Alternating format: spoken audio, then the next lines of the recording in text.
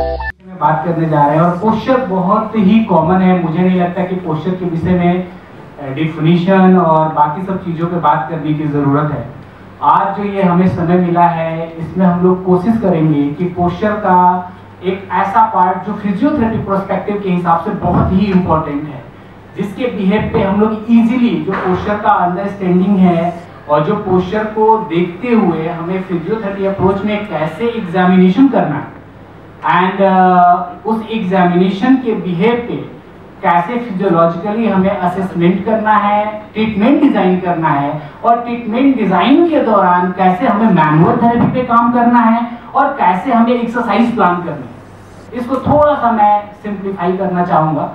है तो बहुत वाइड चैप्टर बट इसको कोशिश करूँगा कि एट द एंड ऑफ़ यदि मैं इस सेशन को हम लोग खत्म करें तो एटलीस्ट एक पोस्चर का असेसमेंट के विषय में हमारा क्लियर हो और कुछ कम से कम आठ से दस क्वेश्चन हमारे माइंड में हो कि असेसमेंट के दौरान ये ये और हम जान सकते हैं।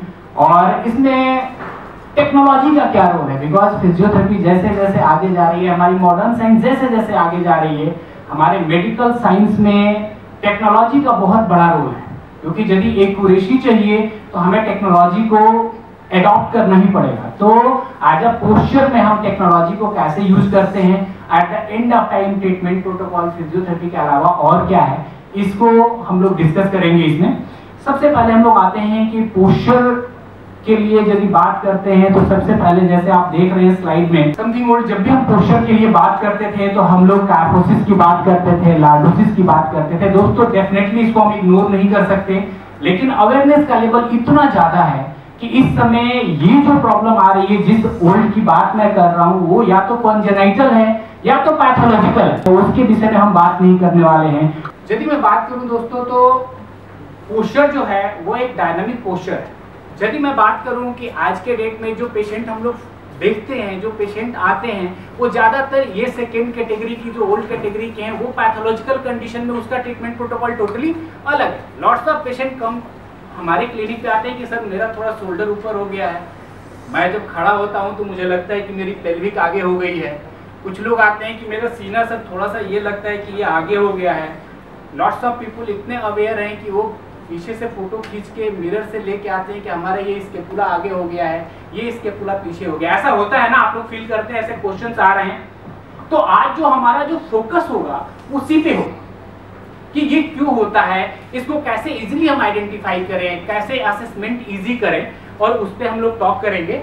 नेक्स्ट यदि हम बात करें कि पोस्चर राइट और रॉन्ग की हम बात करते हैं, हम लोग जब से पढ़ाई कर रहे हैं, हमेशा बोलते हैं कि what is good posture and what is bad posture what is the good posture for the sitting what is the good posture for the standing but यदि मैं बात करूँ कि मैं इतनी देर खड़ा हूँ और यदि मैं टॉक कर रहा हूँ तो आप मेरे को देखेंगे कि क्या मैं कोई एक स्टेटिक पोस्चर में हूँ क्या? यदि मैं खेलने जा रहा हूँ तो क्या मैं एक स्टेटिक पोस्चर में हूँ? तो पोस्चर हमेशा क्या होता है? डायनेमिक होता है।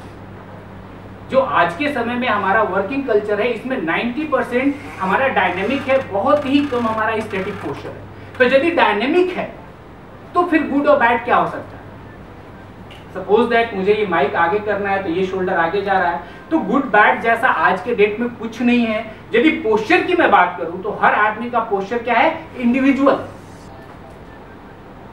हर आदमी का इंडिविजुअल पोस्चर है। एज ए एग्ज़ाम्पल जैसे हम लोग कभी रोड पे चलते हैं, कोई एक व्यक्ति दूर से जा रहा होता है तो हम लोग पहचान लेते हैं कि वो कौन जा रहा है।